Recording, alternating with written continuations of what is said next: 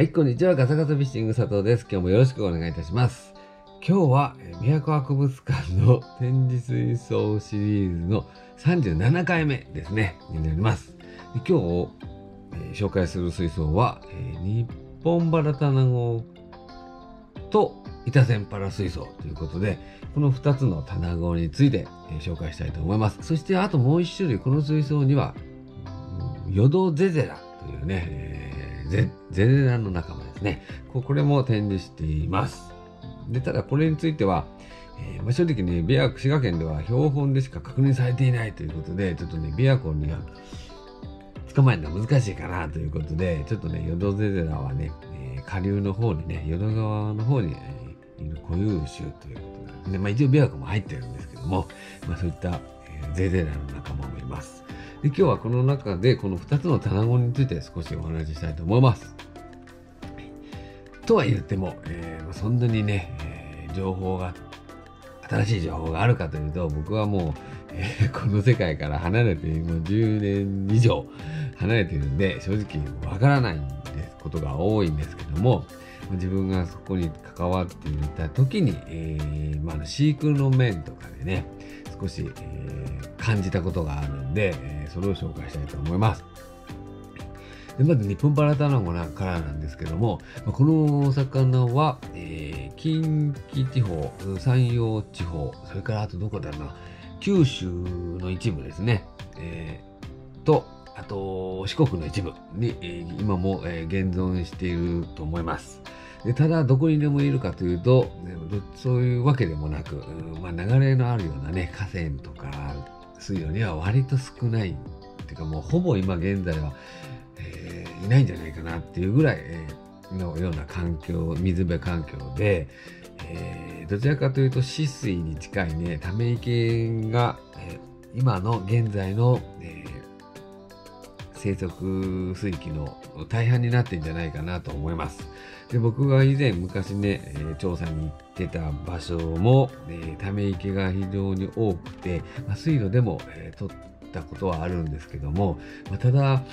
えーまあ、皆さんもご存知のように、えー、と同亜種であるロデウス・オセラータス・オセラータスかな、え大陸バラターナゴ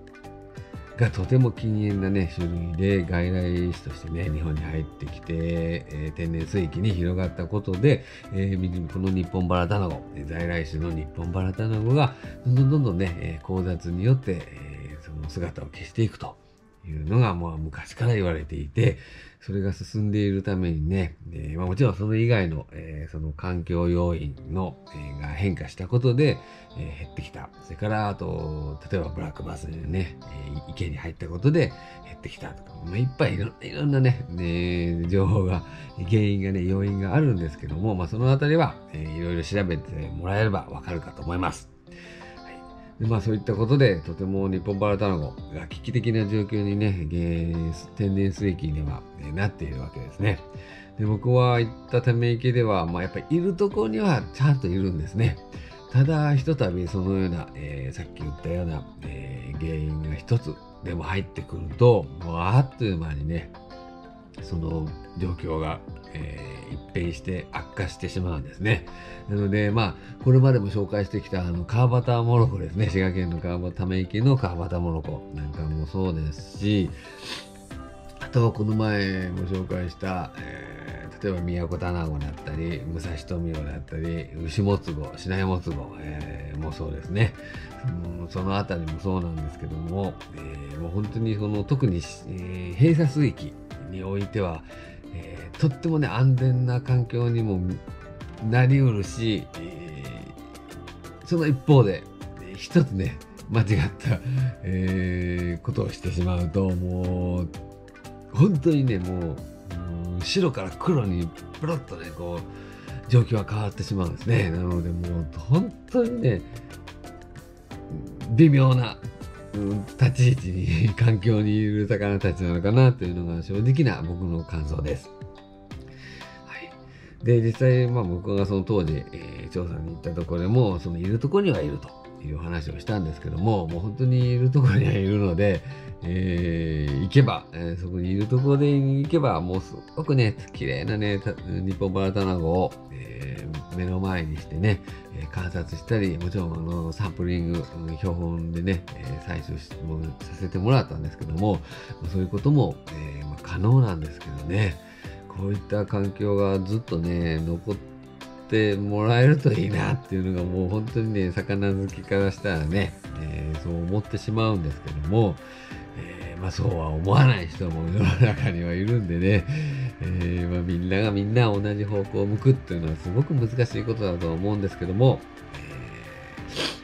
ただまあ人間のね、思いなんかぶっちゃけどうでもよくて、やっぱ魚そのものね、その生き物たち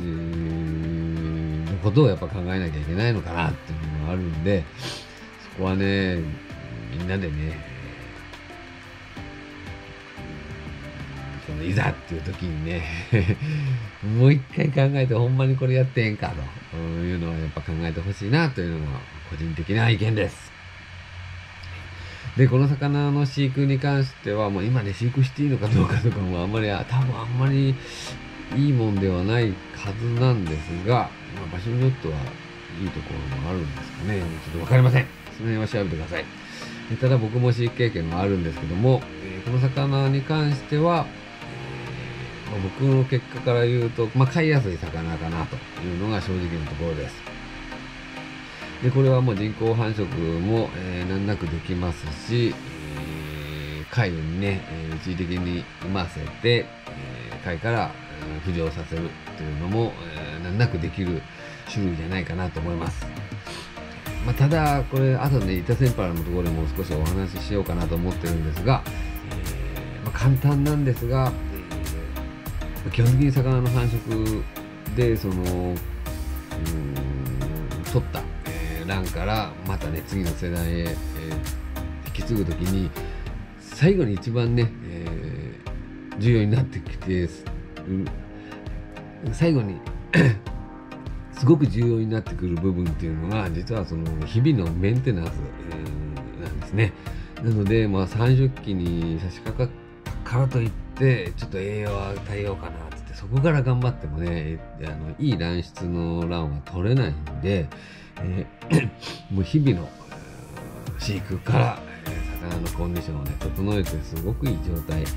に維持する飼育ができている方は、えー、人工繁殖を書いていましても生まれてくる卵のねと精子の質もすごくいいですし気形なんかもね多分すごく、えー、少ない状態で、えー、卵が取れるんじゃないかなと思います。なのでもう本当にね、えー、もう何度も言うように飼育は日頃からの一つ一つが、どんだけ大事なね、結果を最後に生むかということをね、えー、知ってもらえると、もっともっとね、いい成果が出るんじゃないかなと思います。という感じで、この、まあ、実は水槽にもね、日本バラダナが泳いでいるんで、えー、まあ、もしね、えー、なんか好きな方がいたら、ぜひ見に行ってもらえると、日本バラダナにね、純潔の日本バラダナの花子に会えるかと思います。ということでちょっとこのまま次の板センパラに行きたいんですが、えー、一旦今日はここで区切らせてもらって、えー、また次に、えー、この続きの板センパラを紹介したいと思います。ということで今日も最後までご視聴いただきありがとうございました。えー、どうぞこれからもよろしくお願いいたします。それではまた